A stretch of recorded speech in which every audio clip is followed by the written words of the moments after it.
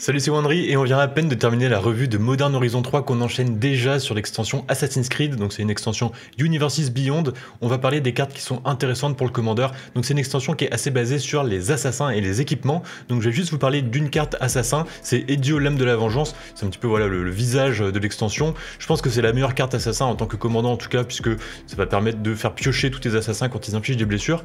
Ensuite je parlerai plus de l'archétype assassin, voilà c'est un petit peu un archétype particulier, maintenant on va parler plutôt des cartes qui vont être euh, vues régulièrement dans le format Commander. Et comme à chaque extension, le blanc reçoit une nouvelle colère bien efficace, donc on va commencer par ça. Ce qui doit être fait, un rituel à 5 mana qui détruit non seulement toutes les créatures, mais aussi tous les artefacts, donc ça rappelle un petit peu ce qu'on a en rouge. C'est vraiment pas mal du tout, hein. pour l'instant on n'avait pas d'effet comme ça euh, qui détruit à la fois et les artefacts et les créatures en blanc, ce qui rend cette colère si puissante. Bon déjà c'est ce premier mode qui va vraiment être très bien si t'as un deck enchantement par exemple, ou si t'as juste peu d'artefacts dans ton deck, mais son deuxième mode c'est un mode de récursion où tu vas récupérer un permanent historique de ton champ de bataille sur ton cimetière, donc ça va être une saga, un permanent légendaire, n'importe quel artefact, ou alors tout simplement ton commandant la plupart du temps, et en plus si c'est une créature, elle revient avec deux marqueurs puissants puissants sur elle, donc c'est une carte qui est auto-include dans les decks Voltron Aura par exemple. Je pense qu'on va, on va l'avoir passé un petit peu dans le format.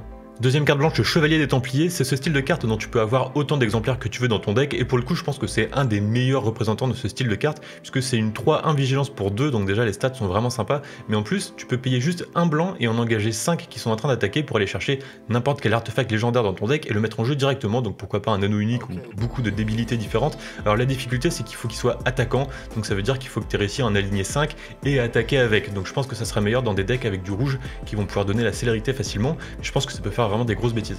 On passe à la chute de la première civilisation, alors c'est un piocheur un peu médiocre, tu vas piocher deux, tu vas faire piocher deux un adversaire, dont tu peux t'en servir politiquement, mais ce qui est intéressant c'est plutôt les modes d'après. Celui d'après c'est que tu vas exiler un artefact d'un adversaire, donc ça c'est toujours bien parce qu'il y aura toujours un caillou, un sol ring, un truc à exiler, et mode d'après, chaque joueur va choisir trois permanents, et ensuite tu vas détruire tous les autres permanents de mon terrain que ceux qui ont été choisis de cette manière-là, donc euh, c'est pas une carte évidemment à mettre dans les decks jetons, mais voilà, ça fait de la pioche, ça fait un anti-artefact, euh, ça fait un, pas vraiment une colère, mais en tout cas ça empêche les decks qui vont trop wide, qui ont trop de permanents sur le board de, se développer à l'excès.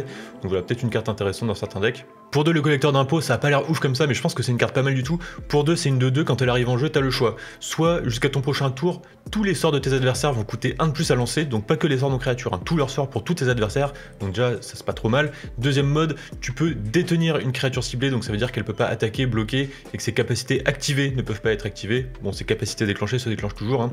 Je pense que cette carte est intéressante dans un deck Blink, parce que par exemple, si tu la joues, elle coûte que 2, hein, tu la joues et tu la blink immédiatement avec un éphémérite ou un truc comme ça, euh, tous les sorts de tes adversaires vont coûter 2 de plus, donc ça veut dire qu'ils vont très difficilement pouvoir jouer 2 sorts par tour. Je pense que c'est une carte qui peut être très très embêtante pour tes adversaires, pour seulement 2 mana, elle est pas mal du tout. On passe maintenant au premier représentant d'une des principales mécaniques de cette extension, c'est la course libre. Donc la course libre, c'est un coup alternatif, ça veut dire que tu vas pouvoir jouer des cartes souvent pour moins cher si tu as mis des blessures à un adversaire avec un assassin ou, la plupart du temps, avec ton commandant. Donc dans pas mal de decks, ça va pas trop être compliqué de mettre des blessures avec son commandant. Et là, distraire les gardes, pour 3, ça fait 3 jetons de créature 1-1, donc déjà c'est un sort de jeton euh, plus que correct, c'est même un bon ratio déjà.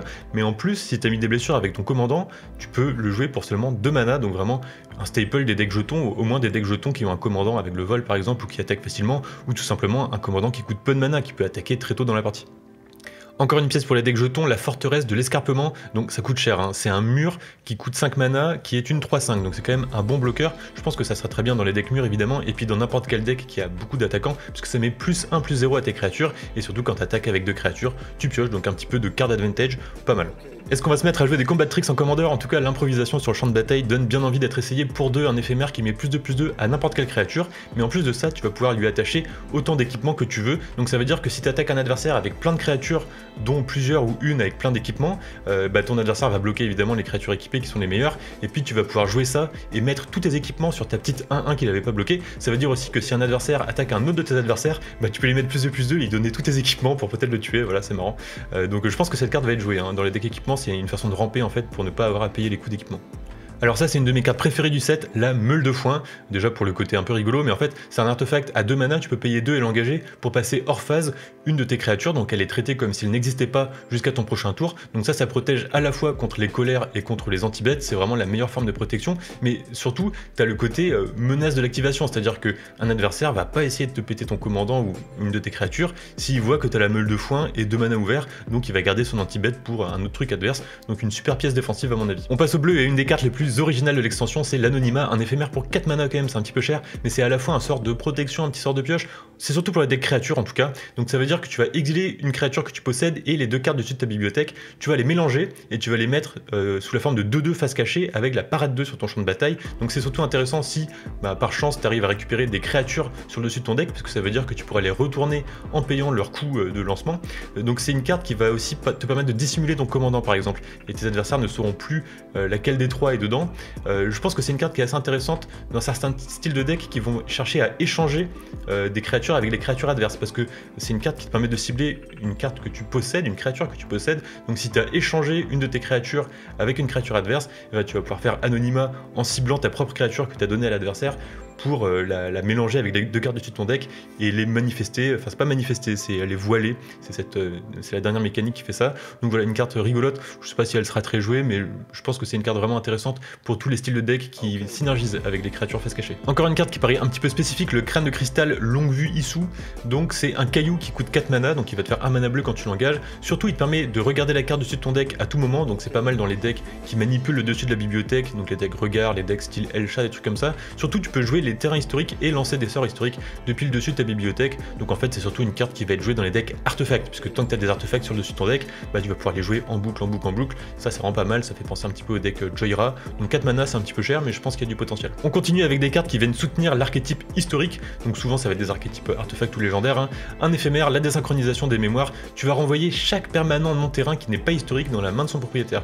Donc c'est vraiment pas mal, hein, parce que c'est en éphémère, donc à la fin du tour de l'adversaire juste avant toi, tu vas jouer ça, tu vas faire c'est pas vraiment un Cyclonic Rift, mais si toi t'as que des permanents historiques dans ton deck historique, ou alors c'est un deck artefact qui, est très lourdement artefact, bah, tu vas pouvoir renvoyer presque tout sauf tes trucs, donc c'est vraiment pas mal. Par contre, faut noter que ça ne renverra jamais les commandants. Le gantelet d'assassin, c'est un équipement à 3 qui ne paye pas de mine, mais en fait qui est pas si mal, donc il fait partie de ces équipements qui vont s'attacher automatiquement, donc tu n'as pas à payer le coût d'équipement la première fois, donc déjà ça c'est pas mal. Ensuite ça met plus 1 plus 1, et à chaque fois que la créature inflige des blessures, euh, tu pioches des fausses. Donc ça c'est vraiment pas mal pour le début de partie quand tu cherches tes terrains, des trucs comme ça, puisque si tu as joué une créature tour 2, et bah juste pour 3, euh, tu vas pouvoir lui mettre ça tour 3 et commencer à creuser dans ton deck, et ensuite en fin de partie c'est pas mal aussi, puisque quand il arrive en jeu, tu vas engager toutes les créatures qu'un joueur ciblé contrôle, et ça en fait, euh, ça ressemble à rien, mais ça peut être vraiment dévastateur. Surtout si tu cibles le joueur qui est immédiatement à ta droite, t'engages toutes ces créatures, toi tu vas pouvoir l'attaquer avec tout, et tes deux adversaires après ils vont aussi pouvoir l'attaquer avec tout. Donc c'est une carte avec un petit côté politique, une carte qui va te permettre de passer avec tes créatures équipées et de déclencher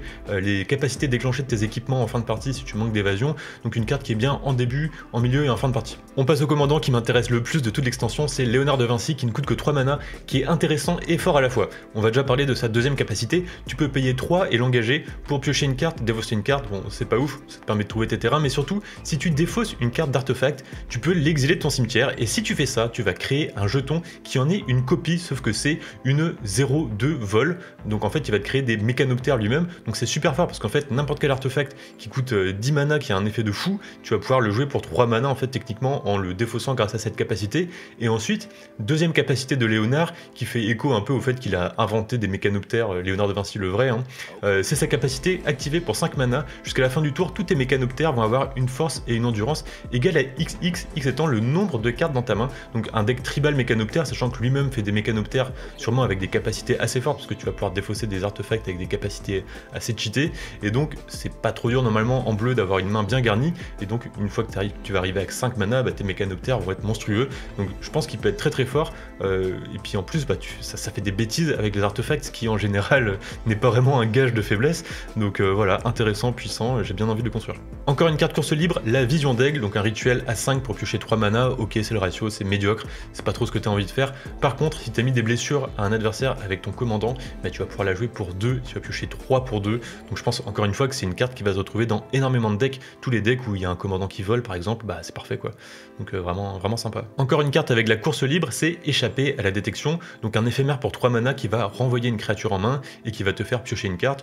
Bon, c'est pas trop mal déjà, mais surtout, tu peux te renvoyer une créature bleue en main pour la jouer gratuitement. Ça veut dire que c'est une carte qui va être intéressante dans les decks Blink qui cherchent à rejouer des petites créatures pour refaire leur effet d'arrivée en jeu. Donc encore une fois, ça, ne marche que si tu as mis des blessures à un adversaire avec un assassin ou avec ton commandant. Donc c'est réservé à certains decks Blink, mais dans un deck Brago par exemple, ça sera parfait. On passe au noir et à l'adepte assassin qui va être une carte parfaite pour tous les decks équipements ou ce style de deck qui essaie de renforcer des créatures, puisqu'il ne coûte que 1 mana, et en fait tu peux payer 1 pour lui mettre soit le vol, soit le contact mortel, soit le lien de vie. Ça veut dire qu'il va toujours faire le truc le plus pertinent, soit le contact mortel pour se protéger, soit le vol pour pouvoir aller toucher les points de vie facilement et déclencher les capacités de tes équipements, soit le lien de vie pour euh, reprendre des points de vie grâce à tes gros équipements que tu as mis dessus en milieu fin de partie. Voilà, il sera toujours bien. Donc une carte qui ressemble à rien comme ça, qui paye pas de mine, et en fait qui va boucher beaucoup de trous dans ta stratégie. La lame fantôme, c'est un autre de ces équipements qui s'attache automatiquement, donc ça met plus un plus un menace, c'est pas ouf, ça donne un petit peu d'évasion, c'est surtout pour ça que c'est intéressant, mais par contre, elle a un effet d'arriver sur le champ de bataille qui est de détruire une créature ciblée, donc je pense que c'est pas trop mal. En fait, c'est vrai que c'est dur dans un deck Voltron équipement de jouer à la fois beaucoup d'équipements, beaucoup de créatures à équiper, et puis ensuite euh, ta rampe, ta pioche et tes sorts de contrôle, et bah ça c'est un équipement qui va déclencher toutes tes synergies équipements, et qui en plus est un sort de contrôle, donc voilà, je pense qu'elle peut être vraiment jouable, même si ça paraît coûter très cher comme ça, elle peut être vraiment jouable dans un deck euh, équipement Voltron, ça peut être intéressant. Une autre carte, course libre, et celle-là c'est vraiment une des meilleures, mais je pense que les cartes course libre en général, elles sont vraiment pas mal. Hein. Relancer la séquence, un rituel déjà, un rituel pour 4 qui te récupère une créature de ton cimetière sur le champ de bataille, c'est ok, mais en plus tu peux le faire pour 2 si tu as réussi à mettre des blessures avec ton commandant ou un assassin un adversaire, et c'est pas, euh, c'est pas comme euh, réanimation où tu dois payer des points de vie, c'est pas comme animation des morts où il y a un enchantement qui peut se faire gérer, tu perds tes créatures, non non là c'est tu payes 2 ou 4 sèchement et tac ta créature est là et c'est bon. Donc vraiment une super carte pour les decks cimetières, une super carte pour plein de decks en fait. On passe au rouge et à Alexios, un commandant qui oppresse un peu tes adversaires à la manière de Slicer, un deck aggro un petit peu meilleur quand même, mais qui est joué jusqu'en CEDH. Et Alexios, il a un potentiel euh, assez similaire, donc c'est une 4-4 piétinement, c'est important qu'il ait piétinement, parce qu'au début du tour de chacun de ses adversaires, ils vont gagner le contrôle d'Alexios, lui mettre un marqueur plus 1 plus 1, il va être dégagé, il va avoir la célérité, mais le truc c'est qu'il doit attaquer à chaque combat, et il peut pas t'attaquer toi. En plus, il est un peu protégé parce qu'il peut pas être sacrifié, donc ça veut dire que tu joues, ok, tu passes le tour à ton adversaire, bah, il va prendre le contrôle d'Alexios, lui mettre un marqueur, et il va attaquer avec, donc c'est une 5-5 piétinement. Derrière, il va passer à l'adversaire d'après, qui va le dégager, ça va être une 6-6 piétinement, l'adversaire d'après, 7-7 piétinement. Donc là, t'es déjà à 18 dégâts sur la première rotation, juste le tour où tu le joues. Alors le truc, c'est qu'il risque de se faire buter, hein, donc il va falloir que tu arrives à lui mettre indestructible, des trucs comme ça. Et en mono rouge, c'est pas forcément la meilleure couleur pour lui donner indestructible, mais il a un potentiel vraiment fun et vraiment politique, donc voilà, je l'aime beaucoup. Encore un sort avec la course libre qui est vraiment pas mal, l'attaque surpuissante, donc de base c'est un rituel pour 5 qui va dégager toutes tes créatures qui vont attaquer, tu vas prendre une nouvelle phase d'attaque et une nouvelle phase principale. Ok, c'est le ratio 5, c'est un peu un peu lourd, mais bon, ça passe, c'est pas une honte de le lancer comme ça, et surtout course libre, donc tu peux jouer pour 3 si tu as réussi à mettre des blessures avec ton commandant, donc c'est vraiment trop fort en fait, une phase d'attaque supplémentaire juste pour 3, c'est un des meilleurs effets du genre, tant que tu as un commandant évidemment qui arrive facilement à toucher les points de vie adverses, et vraiment j'adore cette carte. La lance de Léonidas, c'est un artefact à 3 ultra versatile, donc c'est quand même 2 comme coup d'équipement, donc ça rappelle un petit peu les swords à ce niveau-là, mais ça fait absolument tout, donc c'est quand la créature attaque, c'est pas quand la créature met des dégâts que tu vas pouvoir choisir un de ces trois effets-là, donc soit lui mettre double initiative, donc ça c'est parfait dans les decks équipements pour déclencher plusieurs fois les effets qui se déclenchent quand tu infliges des blessures avec tes équipements, bah tu vas les déclencher deux fois, donc rien que ça déjà super. Ensuite tu peux créer une 3-2 cheval légendaire, donc tu peux en avoir qu'une à la fois sur le terrain, mais ça te fait un bloqueur, donc ça peut vraiment te sauver. Ça veut dire que tu peux attaquer euh, sans trop te soucier des bloqueurs parce que tu vas faire un bloqueur. Soit alors tu peux défausser deux cartes pour piocher deux cartes, donc ça c'est super fort aussi en milieu fin de partie. Tu balances tes terrains, tu pioches euh, du carburant. Vraiment super artefact, euh, vraiment je, l'adore. On passe à une saga qui sera pas mal dans les decks jetons, pas forcément les decks euh, assassins, les decks jetons. Donc ça coûte 4 mana quand même, origine de ceux qu'on ne voit pas. Quand ça arrive en jeu, ça met 4 blessures à n'importe quelle cible. N'importe quelle cible, ça veut dire même sur les points de vie d'un adversaire, donc ça, ça peut être euh, assez décisif. Deuxième chapitre, tu fais 2 jetons assassins avec la menace. Troisième chapitre, à chaque fois que tu as un assassin qui attaque, tu fais un assassin avec la menace engagé et attaquant. Donc en fait, ça va te faire 4 assassins engagés et attaquants sur le troisième chapitre de l'origine de ce qu'on ne voit pas, donc ça peut être assez intéressant quand même, parce que la menace est difficile à bloquer, donc si tu as des moyens de les renforcer, de renforcer tout ton board, bah ça peut être quand même une carte assez puissante, hein. 4 euh, jetons pour 4 avec la menace, plus 4 blessures n'importe où, voilà, c'est un petit peu au-dessus du ratio, donc euh, après voilà, ça prend 3 tours, mais c'est pas mal.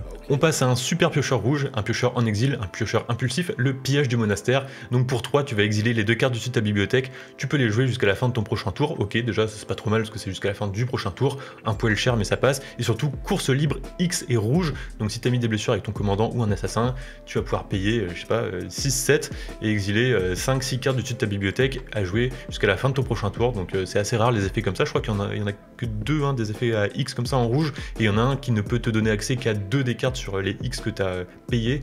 Donc je pense que c'est vraiment une super carte en rouge, surtout qu'en rouge, le commandant attaque souvent assez facilement, peut facilement mettre des blessures au point de vie adverse.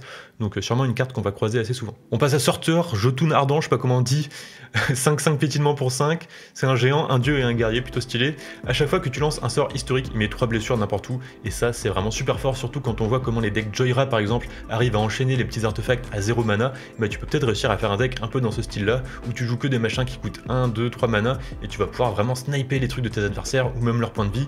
Donc si tu arrives à te dégager, à prendre ton tour avec ça sur le champ de bataille, je pense que tu peux facilement tuer quelqu'un avec un deck bien construit autour. On passe au vert et à l'arc du chasseur, un effet de bite, donc contrairement aux effets de fight, là c'est juste ta créature qui inflige sa force à une autre créature. Euh, ta créature ne risque pas de se faire tuer dans l'opération. On voit que c'est un truc qui développe récemment, on a eu deux itérations de ce style d'effet qui ne coûtait que 1 mana. Celui-là coûte 2, mais il a l'avantage d'être un équipement qui s'équipe automatiquement et qui met portée et parade 2. Donc un truc euh, un mot-clé défensif assez intéressant pour ton deck équipement, pour ton deck Voltron, surtout que tu auras souvent une créature assez puissante dans ton deck Voltron, donc tu vas facilement tuer n'importe quoi grâce à l'effet de bite. Donc euh, voilà, sûrement une carte qu'on va voir jouer beaucoup dans tous les decks verts qui jouent des équipements, des auras, des trucs comme ça. Encore une carte course libre que je trouve super forte, la synchronisation des points de vue. Donc pour 5 de base, tu vas chercher 3 terrains de base, t'en mets 2 engagés, 1 dans ta main. Donc souvent tu vas le jouer quand t'as pas de terrain à jouer, donc en fait en soi tu vas ramper 3 tu vas ramper 2 plus jouer le terrain de ta main. Donc ramper 3 pour 5, c'est vraiment excellent. Euh, mais surtout, ça a course libre pour seulement 3 mana. Ça veut dire que si tu as un commandant qui coûte 1 ou 2 mana, bah tu le joues début de partie. Et dès le tour 3, tu vas pouvoir très facilement mettre des blessures à un adversaire avec ton commandant et jouer la synchronisation des points de vue et ramper de 2 plus piocher un land pour être sûr d'avoir euh, ton land drop dans les tours qui suivent. Euh, vraiment super brutal. Euh, c'est bien, une carte pour aider un petit peu le vert qui avait du mal à ramper des terrains, c'est bien. On passe au multicolore et à Arbazmir, un commandant pour seulement 2 mana que tu peux prendre dans plein de directions différentes. Alors c'est intéressant parce que ça va être un deck vraiment basé autour des permanents historiques. À chaque fois que tu as un permanent historique qui arrive en jeu, tu vas mettre une blessure à chaque adversaire, donc 3 blessures au total, et tu vas gagner un point de vie. Pourquoi c'est intéressant? Déjà parce que c'est assez facile de faire arriver plein d'artefacts en jeu, donc c'est des trucs historiques, et juste mettre plein de blessures à tout le monde, un peu dans un style pur Foros. En plus, t'es en rouge, donc tu peux facilement multiplier tes blessures non combat, voire juste multiplier tes blessures, pour commencer à mettre 2, 3 à chaque fois que t'as un artefact ou un permanent historique qui arrive en jeu, et en plus, à chaque fois, ça te fait gagner un point de vie, donc à chaque fois, ça te fait un trigger de gain de vie, donc tu peux vraiment euh, faire des synergies euh, life gain autour de ça. Vraiment, tu peux le construire de plein de façons différentes. Sûrement que tu fais un petit peu un mélange de tout ça. Et en, plus, tu peux même faire un, build, euh, je sais pas, autour des terrains légendaires, par exemple. Il y en a quand même pas mal. Euh, tu peux faire un build où tu vas sacrifier tes terrains et les faire revenir en jeu avec les effets du blanc, des trucs comme ça. Tu peux faire vraiment des bêtises avec. Ou alors, tu peux jouer en mode Planeswalker si tu veux, mais je sais pas si c'est une bonne idée. En tout cas, je trouve qu'il est très fort pour seulement 2 mana. Euh, ça, donne envie de l'essayer. Un peu dans le même style, Bassim Ibn Ishak, toujours pour 2 mana en bleu et en noir. Et lui, à chaque fois que tu vas lancer un sort historique, il va pas pouvoir être bloqué ce tour-ci et tu vas piocher une Ça ne se déclenche qu'une seule fois par tour par contre. Donc tu vas devoir trouver des moyens de jouer des cartes pendant les tours adverses pour pouvoir déclencher ça euh, plus régulièrement parce que ça va être assez difficile de trouver des éphémères ou des cartes avec le flash qui sont historiques, il y en a un petit peu mais il n'y en a pas énorme. Et ensuite à chaque fois qu'il met des blessures de combat à un joueur, tu vas lui mettre un marqueur plus 1 plus 1. Donc normalement à chaque tour tu vas réussir à lui donner un bloquable et à lui mettre un marqueur, donc il va grossir, il va te faire des cartes. Pour seulement 2 mana, euh, vraiment pas mal, une option vraiment intéressante. Bayek de Siwa pour 5 mana, une 3-4 double initiative, donc parfait avec tes équipements ou tes auras qui se déclenchent quand tu mets des blessures. Mais en plus, tant que c'est ton tour, les autres créatures historiques que tu contrôles ont la double initiative, donc vraiment pas mal. Un deck qui va essayer de jouer sur les créatures artefacts et les créatures légendaires, et les créatures légendaires qui ont des effets qui se déclenchent quand tu mets des blessures, parce que tu vas pouvoir le faire deux fois, ou juste des trucs qui tapent très fort et qui volent, euh, donc ça a l'air vraiment assez fort. Donc il a le déguisement, peux payer 3, enfin en fait tu peux le lancer face cachée euh, comme une 2-2 qui aura la parade 2. Donc tu vas le lancer depuis ta zone de commandement si c'est ton commandant, donc tout le monde va savoir ce que c'est, mais tu ne lances que pour 3, et ensuite tu peux le retourner phase recto pour 3, donc c'est une façon de le jouer pour un petit peu moins cher. Euh, par contre, euh, ne rêve pas s'il est déjà mort, même si tu le relances de cette manière-là, c'est-à-dire avec le déguisement, tu vas quand même devoir payer la taxe de commandant en plus. Cléopâtre, pharaon en exil, ça rappelle un petit peu Apatra, c'est dans les mêmes couleurs, c'est une reine, euh, et surtout ça joue avec les marqueurs moins 1, moins 1. Donc au début de ton étape de fin, tu vas cibler deux autres créatures légendaires et tu vas leur mettre un marqueur plus 1, plus 1, ok. Mais surtout, à chaque fois qu'une créature légendaire meurt, tu vas piocher pour le nombre de marqueurs qu'il y avait sur elle et gagner 2 points de vie. Ça veut dire que soit tu vas essayer de mettre plein de marqueurs moins 1, moins 1 sur les commandants adverses par exemple, euh, si c'est une 6-6, tu lui mets 6 marqueurs moins 1, moins 1, et puis ensuite tu vas piocher 6 cartes, ou alors juste tu vas essayer de mettre des marqueurs plus 1, plus 1 sur tes trucs à toi, et ensuite les sacrifier et tu vas piocher énormément de cartes. Et en fait, c'est un peu dur comme ça de, visualiser le potentiel de la carte, mais je pense qu'elle peut faire des trucs vraiment super cachés, surtout en noir-vert où tu as toutes les synergies pour euh, garder tes marqueurs plus 1 plus 1 quand des créatures meurent, avec Ryan, euh, avec Skullbriar, des trucs comme ça. Euh, je pense que c'est une carte qui peut. Enfin, c'est un, commandant en tout cas qui peut vraiment faire des bêtises. La directrice du bureau, une carte très simple qui sera très bien dans tous les decks équipements, puisque tes équipements coûtent un de moins à lancer et tes capacités d'équipement coûtent un de moins à activer. Et ce qui est intéressant, c'est que par exemple, si ton équipement coûte 1, bah, tu vas pouvoir le lancer pour 0. Si la capacité d'équipement est à 1, tu vas pouvoir équiper pour 0. Elle n'a pas la restriction qu'on voit des fois, donc euh, super carte pour les decks équipements tout simplement. Alors l'effet de transfert, une carte un peu difficile à évaluer, mais j'ai voulu vous en parler quand même parce qu'elle a peut-être du potentiel. En fait, ce qui m'embête, c'est que c'est un enchantement à 4, donc c'est un petit peu lourd et c'est un enchantement pour les decks créatures, puisqu'en fait au début du combat pendant ton tour, toutes tes créatures vont avoir le vol si tu une carte qui a le vol dans ton cimetière, et ça sera la même chose pour initiative, double initiative, contact mortel, défense talismanique, indestructible, lien de vie, menace, portée, piétinement et vigilance. Donc c'est pour les decks euh, cimetières qui vont essayer de bien remplir son cimetière et, qui essaient d'avoir pas mal de créatures en jeu. Et en fait toutes tes créatures vont vraiment avoir un gros boost si tu as réussi à avoir plein de mots-clés dans ton cimetière. Après voilà, c'est un enchantement, ça coûte 4, donc c'est peut-être un petit peu lourd, mais j'ai le sentiment que ça peut être assez fort en fait. Surtout si tu à mettre double initiative, vol, défense talismanique, indestructible aussi, ça commence à être vraiment fort. Eivor, ami des loups, pour 6, une 7-6 pétinement célérité, donc déjà ça c'est pas mal, parce que 7, vous savez, c'est le nombre magique, et si tu joues un tripleur de blessures, elle tape à 21, et elle peut one-shot n'importe qui, puisque 21 blessures de combat d'un commandant, et tu es éliminé, et en plus, quand elle inflige des blessures de combat à un joueur, tu vas meuler autant de, cartes, donc c'est vraiment un deck meule, c'est un commandant qui va réussir à se meuler très très fort, très très vite, parce que pour 6, elle arrive, elle a la célérité, elle va tout de suite te meuler pas mal, et je pense que tu peux réussir à, te meuler énormément sur 2-3 tours, sûrement la moitié de ton deck si tu arrives à le renforcer. À chaque fois que tu te meules de cette manière, tu peux mettre une saga ou et ou pardon un terrain sur le champ de bataille. Donc ça va être très très bien dans les decks saga. Ça va être un super commandant saga parce qu'à chaque fois elle va et te ramper et te ramener une saga. Mais même sans le jeu autour des sagas, euh, c'est dur de se meuler efficacement en fait. C'est aussi embêtant de dédier beaucoup de cartes de meule dans ton deck parce qu'elles font pas autre chose. Et là t'as un commandant non seulement qui peut tuer, en plus qui meule et te rampe, un truc de fou. Ça veut dire aussi que elle arrive, célérité, elle tape. Tu vas meuler au moins quelques cartes, tu vas sûrement trouver un terrain ça veut dire que même si elle se fait tuer, tour d'après, tu joues ton terrain, tu peux la rejouer. En fait, c'est un peu comme s'il avait pas de taxe de commandant, c'est-à-dire plutôt que à chaque fois que tu as un terrain, tant que tu pioches des terrains, tant que tu as des terrains à jouer, tu vas pouvoir la rejouer même si elle meurt, à chaque fois, en tout cas tant que tu arrives à mettre des blessures avec elle. Encore un commandant avec la célérité, Eivor 5-5, vigilance. Euh, quand elle attaque, elle va mettre des blessures à tous tes adversaires, égal au nombre d'équipements que tu contrôles. Donc en fait, c'est un deck, euh, un style de deck assez original, il y en a déjà quelques-uns dans ce genre, un mec qui va chercher à avoir plein de petits équipements, et en fait ça peut faire très très mal. Une fois que tu as genre 3 équipements, tout simplement, elle va mettre 3 à chaque adversaire quand elle attaque, donc en fait 9 quoi. Et ensuite, si tu arrives à prendre des phases d'attaque supplémentaires, des trucs comme ça, ça peut creuser très très vite. Donc moi j'aime bien les commandants qui s'attaquent directement au point de vie comme ça, et elle le fait très bien, en plus elle bloque avec la vigilance. Donc euh, voilà, euh, après c'est dur de jouer beaucoup d'équipements, ça demande de faire un style de deck Voltron un peu différent, intéressant, original. Encore un deck autour des permanents historiques, euh, donc là c'est Avi, le père de toutes choses, qui coûte 6 quand même, mais qui a l'indestructible tant que tu as 4 cartes historiques dans ton cimetière. Donc en fait si tu arrives à te meuler un petit peu, si tu arrives à avoir bah, juste beaucoup de cartes historiques dans ton deck, que ce soit tes terrains, ta rampe avec des artefacts, et puis tout le reste de ton deck avec des, trucs légendaires, des artefacts, des trucs comme ça, tu vas très facilement avoir un commandant qui est indestructible. Donc ça déjà c'est super fort, hein. ça veut dire que tu peux faire des colères et tout péter et garder ton commandant. Donc déjà rien que ça c'est super fort. Et en plus à chaque fois que lui ou une autre créature que tu contrôles meurt, tu vas renvoyer depuis ton cimetière une autre créature légendaire qui coûte moins cher en mana. Donc je pense que tu as peut-être moyen de faire des combos avec. Alors je sais pas s'il y a des créatures légendaires qui permettent de le faire, mais ce style d'effet souvent ça permet de faire des boucles après, c'est vrai que tu descends, il faut que ce soit des cartes qui coûtent moins cher. Donc je sais pas. Mais peut-être que tu peux réussir à faire une boucle, partir de, euh, euh, je sais pas, à partir d'une carte qui coûte 5, la faire mourir, ramener un truc qui coûte 4, la faire mourir, ramener un, truc qui coûte 3.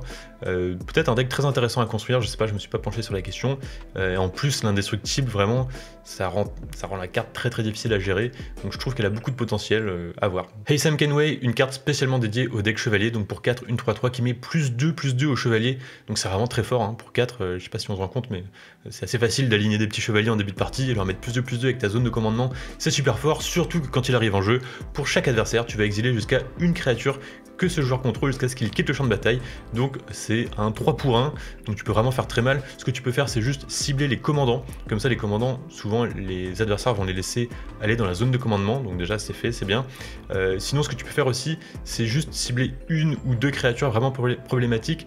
Euh, ne cible pas forcément tes trois adversaires, parce que des fois, il y a un adversaire, tu vas lui prendre un truc qui est pas déterminant, qui est pas très important, mais du coup lui il aura vraiment envie de te tuer ton Aesam Kenway pour pouvoir récupérer sa carte, parce que quand Aesam Kenway euh, quitte le champ de bataille, les cartes exilées reviennent, mais quoi qu'il en soit, un triple anti-bet plus un boost sur tes chevaliers, et après tes, chevaliers ont protection contre les assassins et ton commandant aussi, mais je pense que c'est un commandant chevalier qui peut vraiment être très très fort. Tu peux aussi le jouer en mode blink pour essayer juste euh, d'exiler des trucs adverses euh, à l'infini, quoi, ou en tout cas des commandants. Euh, tu peux le copier, tu peux, faire des bêtises avec. il ressemble à rien comme ça, il, il a pas beaucoup d'allure, mais je pense qu'il est assez fort. Cassandra porteuse d'aigle, vraiment trop fort, 2 de célérité, quand elle arrive en jeu, elle va chercher la lance de Léonidas, et on a vu la lance de Léonidas c'est un équipement de fou, et en plus à chaque fois qu'une créature que tu contrôles qui a un équipement légendaire qui lui est attaché met des blessures de combat à un joueur, tu vas piocher une carte, donc c'est un deck qui va être euh, construit autour des équipements légendaires, et puis euh, ce, petit gimmick euh, qu'ils ont mis dans ce set, d'avoir ces cartes qui vont chercher une carte spécifique, ça rappelle un peu Yu-Gi-Oh!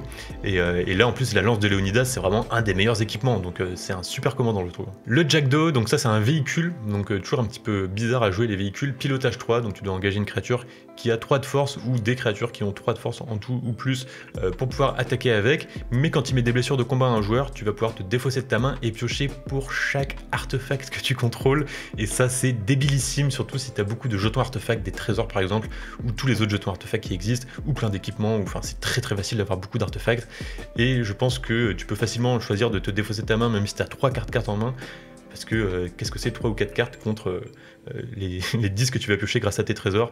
Donc euh, vraiment brutal dans les decks artefacts, dans les decks véhicules évidemment, vraiment fort. Mary Weed et Anne Bonny, une carte qui a l'air restreinte mais en fait pas du tout. Donc c'est une 3-3 célérité pour 3, ça veut dire que dès qu'elle arrive en jeu tu vas pouvoir faire ses capacités activées, tu l'engages, tu pioches, tu défausses une carte. Rien que ça en fait c'est super fort. Il n'y a pas beaucoup de cartes qui font ça. le fait qu'elle ait célérité en fait que dès le tour 3 tu vas pouvoir défausser tes cartes qui servent à rien pour trouver tes terrains et toujours avoir tes terrains en début de partie, en fait, elle te rampe déjà rien que par ça, en fait, parce que tu vas pas rater tes terrains dans les 5-6 premiers tours. En plus, à chaque fois que tu défausses une carte d'île, de pirate ou de véhicule, tu fais un jeton trésor engagé. Donc pirate, véhicule, ok, c'est assez restreint, quoique véhicule, il euh, y en a quand même pas mal qui peuvent t'aider à piocher, à ramper, donc tu peux en inclure pas mal dans ton deck. Euh, pirate, quelques-uns aussi, un petit peu moins, mais juste te défausser des îles, c'est assez facile en fait. Ce que tu peux faire, c'est un deck avec énormément d'îles, et tu vas juste te défausser des îles et faire des trésors, et ensuite avec tes trésors, tu vas pouvoir faire des bêtises, puisque déjà qu'elle te, te trouve tes terrains, en plus tu auras des trésors engagés pour le tour d'après. Je pense que tu vas facilement avoir beaucoup de mana, et grâce à sa sélection de cartes qu'elle t'offre, tu vas pouvoir bien profiter de ce mana une fois que tu arrives en milieu de partie, commencer à, jeter tous ces trucs qui servent à rien pour trouver ton carburant que tu pourras jouer avec tout le mana qu'elles t'auront généré, donc euh, vraiment pas mal du tout. Raccourci par les toits, un enchantement à seulement 3 mana qui va te faire un jeton assassin menace 1-1 pour chaque adversaire à qui tu as infligé des blessures ce tour-ci, donc tu peux faire jusqu'à 3 jetons par tour. Pour 3 mana en enchantement, bah c'est vraiment trop fort, c'est des jetons avec menace en plus. Raton Aketon, pour 3 mana en esper, il a une sacrée protection puisque tant qu'il n'a pas mis de blessure à un adversaire, il a la défense talismanique et il ne peut pas être bloqué. Donc ça, ça veut dire que tu vas tout toujours, pouvoir mettre des blessures. Enfin, toujours non, tu peux te prendre une colère, mais tu vas presque toujours pouvoir mettre des blessures et euh, déclencher sa capacité qui se déclenche. Euh, quand tu mets des blessures de combat à un joueur, tu vas créer un jeton 1-1 avec la menace et tu vas lui équiper un artefact que tu récupères de ton cimetière. Donc en fait, c'est vraiment pas mal du tout, parce qu'en fait, tu vas le jouer lui tour 3, et ensuite tour 4, il faut juste que tu aies un moyen de piocher des fossés par exemple, pour mettre un énorme équipement au cimetière, et il est intouchable ou presque avec les défenses talismaniques, il est imbloquable. Donc tour 4, tu es presque garanti de réussir à ramener un équipement trop puissant de ton cimetière sur une 1-1 menace qu'il aura créé. Donc euh, c'est original, je trouve, comme style de deck. Et puis je pense que ça a l'air assez puissant parce que ça te permet en fait de jouer tous ces équipements qui coûtent 6, 7, 8 mana que tu as la flemme de jouer d'habitude parce qu'ils coûtent trop cher. Bah avec lui en fait tu vas les jouer gratos plus ou moins, donc euh, vraiment pas mal. Shao Jun pour 3 mana, tant que c'est ton tour, elle a le vol et l'initiative, ok on s'en fiche un petit peu. Son deuxième effet, tu engages deux artefacts dégagés que tu contrôles, tu mets une blessure à chaque adversaire, mais ça c'est trop puissant parce que c'est un moyen de transformer en arme tous tes jetons artefacts, tes trésors et tout euh, dans ta zone de commandement pour seulement 3 mana, je trouve ça super fort, tu peux le faire n'importe quand en plus, et c'est une blessure à chaque adversaire, donc en fait, 3 blessures techniquement, en tout cas tant que tu as 3 adversaires, euh, vraiment super fort, une option IZ vraiment intéressante pour tous les decks artefacts. Sean et Rebecca, encore un style de carte qui va chercher une carte en particulier, donc c'est encore un moyen de mettre plein de texte sur une carte sans mettre plein de texte sur une carte, donc c'est une 4-4 vigilance en bande. Quand elles arrivent sur le champ de bataille, tu vas chercher dans ton cimetière, ta main ou ta bibliothèque une carte qui s'appelle l'Animus et tu la mets en jeu. Donc c'est intéressant, ça récupère même du cimetière. Et l'Animus, c'est quoi? C'est un artefact légendaire à 2. Et au début de ton étape de fin, tu vas exiler jusqu'à une carte de créature légendaire ciblée d'un cimetière, n'importe quel cimetière, et tu vas lui mettre un marqueur souvenir sur elle. Pourquoi tu veux exiler des créatures comme ça, des cimetières, des créatures légendaires? C'est parce que tu peux engager l'Animus pour faire en sorte qu'une de tes créatures légendaires à toi devienne une copie euh, d'une des créatures légendaires qui a été exilée par l'Animus. Donc ça veut dire que Sean et Rebecca vont facilement devenir une copie des meilleures créatures légendaires que tu auras réussi à mettre au cimetière. En plus, Sean et Rebecca, quand tu les engages, non seulement font un mana incolore, mais en plus meulent de cartes. Donc c'est un moyen aussi de, remplir ton cimetière rapidement avec toutes tes créatures légendaires. Euh, donc c'est beaucoup de texte, je suis fatigué rien qu'à vous lire tout ça, mais je pense que c'est un, deck qui peut être intéressant, parce que c'est intéressant de faire des copies de créatures légendaires et tout. Donc euh, voilà, à voir. En plus aujourd'hui tous les decks ont plein de créatures légendaires, donc tu vas pouvoir copier des trucs intéressants chez tes adversaires aussi. Cormac, ça c'est vraiment le deck sniper quoi. Euh, donc je vais commencer par ces derniers effets. à chaque fois qu'une créature qu'un adversaire contrôle est ciblée par une capacité ou un sort que tu contrôles, tu vas mettre un marqueur prime sur cette créature. Et ensuite, à chaque fois qu'une créature avec un marqueur prime meurt, tu mets deux marqueurs sur Shaker Max. Ça veut dire que à chaque fois que tu vas jouer un anti-bet sur une créature adverse, elle va d'abord prendre les deux marqueurs prime, et ensuite, une fois qu'elle va mourir en raison de l'anti-bet, tu vas mettre deux marqueurs sur Shaker Mac. Donc tu vas juste essayer de tuer toutes les créatures adverses pour faire un énorme Shaker Mac. Et en plus, ta première capacité va te faciliter la vie parce que tu peux payer seulement un mana et tous les permanents que tes adversaires contrôlent vont perdre la défense talismanique, l'indestructible, la protection, le linceul et la parade jusqu'à la fin du tour. Et ça, c'est vraiment pas mal. Ça couvre tous les mots-clés défensifs qui existent. Vraiment, c'est la première fois que je vois ça sur une carte Magic.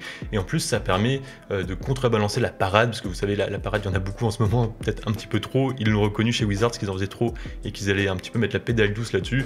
Donc voilà, un, petit moyen amusant de contrebalancer ça. Petit problème technique, on change de caméra et on passe à Sigurd, Jarl de Ravensthorpe, donc un commandant dédié aux sagas vraiment intéressant pour 3, une 3-3, vigilance, piétinement, lien de vie, et surtout il a vantardise, donc une capacité que tu peux activer que si tu as attaqué avec lui ce et pour seulement un mana, tu vas rajouter un marqueur sapiens ou retirer une marqueur sapiens d'une saga, donc qu'est-ce que ça veut dire? Ça veut dire que tu vas pouvoir faire avancer une saga d'un chapitre, ou alors lui retirer un marqueur pour qu'elle refasse le chapitre qu'elle vient de faire, ça veut dire que tu vas pouvoir refaire le meilleur chapitre de ta meilleure saga à chaque tour, tant que tu arrives à attaquer avec, et à le maintenir en vie. Donc c'est vraiment super fort et super intéressant. Plus intéressant que Tom Bombadil à mon avis, tant que tu arrives à le maintenir en vie. En plus, à chaque fois que tu mets un marqueur Sapiens sur une saga, tu vas mettre un marqueur puissant puissant sur une autre créature. Donc une fois que tu as plusieurs sagas, tu vas pouvoir vraiment rendre une créature très très forte. Euh, peut-être les jetons que tu auras créés avec ta saga par exemple, tes sagas. Donc voilà, intéressant. Mais pas aussi intéressant que Socrate, précepteur athénien, donc une 0-4 défenseur pour 3 avec la défense talismanique tant qu'il est dégagé. Ça, ça veut dire que tu vas presque être garanti de pouvoir faire ses capacités activées quand tu l'engages. Et quand tu l'engages, en fait, tu vas prévenir les blessures qu'une créature devrait infliger à un joueur. Et en fait, tu vas faire piocher des cartes à la fois au contrôleur de la créature qui a été, euh, dont les dégâts ont été prévenus, mais aussi aux joueurs qui devaient subir les blessures. Et ça va être autant de cartes piochées que la moitié euh, des blessures qui ont été prévenues de cette manière-là. Donc le truc de base, c'est quand tu te fais attaquer, et bah hop, tu vas fog plus ou moins, tu vas te protéger et tu vas piocher, euh, si la créature t'attaquait avec 5 d'attaque, tu vas piocher 2 parce que c'est la moitié arrondie à l'unité inférieure. Et ton adversaire aussi va piocher deux. Donc c'est vraiment un outil politique. Déjà, toi, tu vas essayer d'avoir des grosses créatures puissantes pour essayer de profiter de son effet. Donc au moins des créatures qui ont 4 ou 6 attaques pour réussir à, piocher efficacement. Et en plus, tes adversaires souvent vont te demander de l'aide pour piocher, vont te demander, voilà, est-ce que euh, si, euh, si je t'attaque, est-ce que tu veux bien qu'on pioche, des trucs comme ça. Des fois aussi, tes adversaires vont profiter de toi, c'est-à-dire qu'ils vont menacer de te tuer. Et ça, c'est une position. Euh, c'est vrai que Socrate te met dans une position un peu délicate à ce niveau-là. Ils vont essayer de te tuer en fait, alors que peut-être que c'est pas toi le plus menaçant, mais en fait ils ont juste envie de piocher. Et toi, si tu l'actives pas, t'es mort, donc tu vas leur faire piocher des cartes. Et des fois, tu risques aussi d'aider le joueur qui est un peu devant. Donc c'est un deck vraiment bizarre, vraiment étrange. Je sais pas trop comment le construire, faudrait, des, faudrait se pencher dessus pendant euh, quelques heures pour, pour voir ça. Mais en tout cas, je pense que ça, gagne à être essayé, un commandant super politique. La triade capitoline, un autre commandant incolore comme on en a de plus en plus en ce moment, qui coûte 10, mais en fait qui coûte pas vraiment 10 puisqu'il coûte un de moins à lancer pour chaque carte historique de ton cimetière. Ça veut dire que tu es en incolore, donc tu as presque que des artefacts. Si tu te meules bien, il peut te coûter 0 tout simplement, c'est une 7-7 en plus qui tue en 3 coups donc, mais surtout tu peux exiler n'importe quel autre nombre de permanents historiques de ton cimetière avec une valeur totale de 30 et tu gagnes un emblème. Donc un emblème c'est intouchable, tes adversaires vont jamais pouvoir rien faire, ton emblème est là pour toujours et l'emblème dit les créatures que tu contrôles ont une force et une endurance de base de 9-9. Donc si tu des cerveaux, si tu des tokens, euh, euh, si tu as des top terre 1-1 vol, bah c'est des 9-9 vol quoi. Donc c'est un finisher intéressant, faut réussir à le faire en milieu de partie pour que ce soit vraiment fort. Je sais pas, peut-être que. Je pense qu'il y a pas mal de moyens de se meuler en incolore, donc peut-être que c'est faisable. Hein. À essayer. La bombe fumigène, gros staple, je pense, pour les decks rouges, les decks noirs, les decks noirs rouges, c'est-à-dire les decks qui ont assez peu d'options pour se protéger sur la pile, puisque en fait, c'est un artefact avec le flash. Quand il arrive en jeu, il donne le linceul à toutes les créatures. Donc souvent, tu vas te. Enfin, ta créature menace de se faire gérer, hop, pour 3, tu donnes le linceul à toutes les créatures, elle est protégée, mais heureusement, au début de ton entretien, la bombe fumigène se sacrifie parce que ça protège toutes les créatures, même les créatures adverses. Tu peux peut-être obtenir des deals grâce à ça.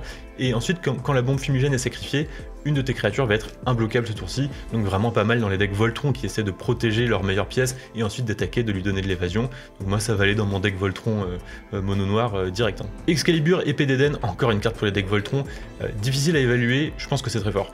Elle coûte 12, donc là comme ça tu dis que c'est nul, mais en fait elle coûte X de moins à lancer, X étant la valeur totale des permanents historiques que tu contrôles, donc souvent ça va être déjà ton commandant, plus dans un deck Voltron, bah, tes autres équipements, tes autres artefacts. Donc en fait, si tu as, bien progressé, si tu as un board bien établi, elle peut aussi te coûter 0. Bon, ça c'est dans le meilleur des cas, mais bon, en général, elle va te coûter, je sais pas, 5, euh, un truc comme ça. Et ensuite, euh, tu peux l'équiper qu'à une créature légendaire, donc ça c'est une autre restriction pour 2 mana seulement. Par contre, ça donne plus 10 plus 0 et la vigilance. Donc ça c'est une carte importante parce que un peu comme la lame noire reforgée, euh, c'est le genre de carte qui va te permettre de mettre 21 blessures d'un coup. Parce que si tu un commandant et que tu as réussi à lui donner euh, double initiative dans ton deck euh, Voltron, et eh ben dans ce cas-là, tu vas tuer en un coup la plupart du temps en tant qu'il a 1 de force. 11 plus 11, 22, ça tue en un coup. Donc ça va, ça va être dans cette catégorie d'équipement qui fait pas grand chose, ça donne vigilance quand même, donc ça te garde un bon bloqueur, mais, surtout qui n'a pas un effet de pioche ou de rampe ou de quoi, mais par contre qui tue quoi, qui met plus 10. Il n'y a pas énormément d'équipements qui font ça non plus, et ça, ça va aller dans mon deck Voltron mono bleu. Mjolnir Marteau du Tonnerre, le genre de carte que t'as pas trop envie d'affronter, donc pour 4, ça s'équipe automatiquement, donc ça coûte que 4. Quand la créature équipée attaque, euh, tu vas engager une créature du joueur défenseur et lui mettre un marqueur étourdissement, donc elle ne se dégagera pas au prochain tour, donc c'est assez relou, mais surtout, ça met des blessures à chaque adversaire égal au nombre de créatures engagées qu'ils ont. Donc tu peux vraiment faire une espèce de surprise en fait quand quelqu'un a fait une grosse attaque à plein de jetons engagés, bah toi, tac, t'arrives et tu vas mettre ça et tu vas lui faire perdre 5, 6, 7, enfin 7 points de vie selon euh, le, board qu'il a. Et c'est encore un artefact, un équipement, je veux dire, qui vient toucher les points de vie adverses autrement que par la phase de combat. On voit qu'il développe ça et, euh, ça a l'air assez puissant, honnêtement. Rien que le fait de mettre des marqueurs étourdissement, ça peut être vraiment très relou à gérer. Euh, ça enlève les bloqueurs en fait, donc ça donne une forme d'évasion. Après, c'est pas des dégâts de commandant. C'est vrai qu'en Voltron, t'as plutôt envie de mettre des dégâts de commandant tuer direct euh, avec les 21 dégâts de commandant, mais je trouve ça assez puissant quand même. La pomme d'Eden Relique Issou, une carte vraiment chelou qui coûte 4 mana, donc tu l'engages, tu la sacrifies, tu payes 4 points de vie, tu dois le faire à vitesse rituelle, donc pendant ton tour, donc c'est beaucoup de restrictions, les 4 points de vie ça fait mal, mais en gros tu vas prendre la main d'un adversaire, en fait tu vas exiler les cartes de sa main et tu peux les jouer ce tour-ci comme si c'était ta main, sachant qu'à chaque fois que tu vas jouer une carte de cette manière, ton adversaire va piocher une carte en contrepartie, puis à la fin du tour tu lui rends ses cartes. Donc je pense que cette carte elle est vraiment intéressante dans les decks, encore une fois, qui ont du mal à gérer des interactions sur la pile. Euh, voilà, une carte rigolote, je sais pas si c'est très fort. Ça par contre c'est très fort, la tenue de la confrérie, c'est un des rares équipements qui donne un bloquable plus autre chose, c'est-à-dire que celui-là, pour 2 plus 1 sur une créature légendaire, en général tu veux donner un bloquable à une, créature légendaire dans le deck Voltron, tu vas aussi donner parade 2, donc à la fois de la protection et de l'évasion, que demande le peuple, c'est vraiment trop bien en fait dans tous les decks Voltron équipements. Et enfin je termine avec Abstergo Entertainment, sûrement la carte qu'on va voir le plus finalement, puisque c'est un terrain terrain légendaire qui fait de l'incolore, mais qui peut faire un mana de la couleur de ton choix si tu payes un mana de plus. Donc euh, déjà il arrive dégagé, en plus il a ce truc qui contrebalance un peu le fait de faire de l'incolore, donc vraiment très jouable.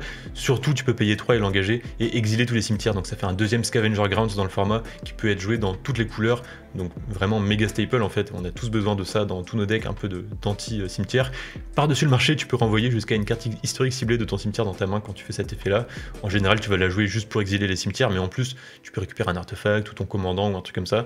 Donc vraiment une carte qu'on va beaucoup voir jouer. En tout cas, j'espère que ça vous a intéressé, il y avait moins de choses que dans Modern Horizon 3, mais il y a quand même quelques cartes intéressantes. Si ça vous a plu, n'hésitez pas à laisser un petit like, mettez la cloche sinon vous verrez pas mes prochaines vidéos. Et si vous voulez me soutenir, vous pouvez le faire sur buymeacoffee slash passion carton.